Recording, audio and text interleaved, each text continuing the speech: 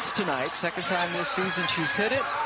But NC State has done a good job defensively as Kate gets her, Caitlin gets her first field goal make of the second half to start the fourth quarter. Pam Ward and Stephanie White joining you from Iowa City, where the fans time and time again have been trying to get their team to clamp down on defense. Each time this league gets inside of 10, this crowd comes alive, and NC State has had the answer. Johnson guarded by Marshall.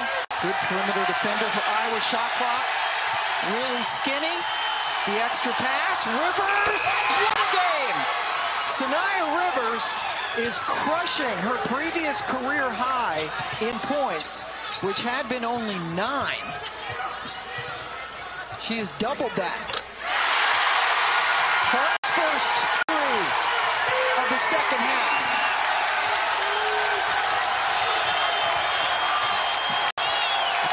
Trading baskets, right? No, you cannot. Uh, You've got to find ways to get defensive stops if you're the Hawkeyes. JVT in the lane. The fans wanted a three-second call. Instead, they got a miss. Clark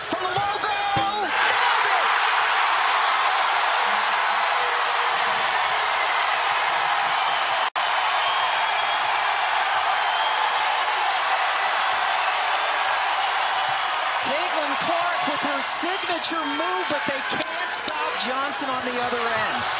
Well, you better be careful. There might be another one coming right here. Here she goes. You can see it when she's got the ball in her hands and the look in her eye.